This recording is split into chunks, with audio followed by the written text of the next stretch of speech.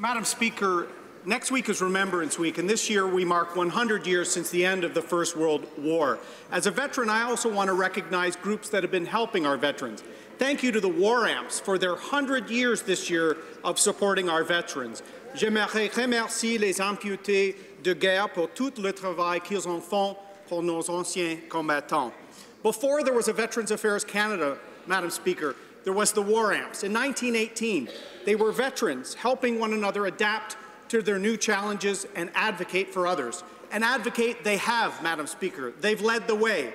In 1932, they brought together all groups for the National Council of Veterans Associations. In 1962, they began helping child amputees with their Champ and Play Safe program. In 1980, they helped Terry Fox, Madam Speaker. From POWs to Indigenous veterans to the Merchant Navy, they've been at the forefront.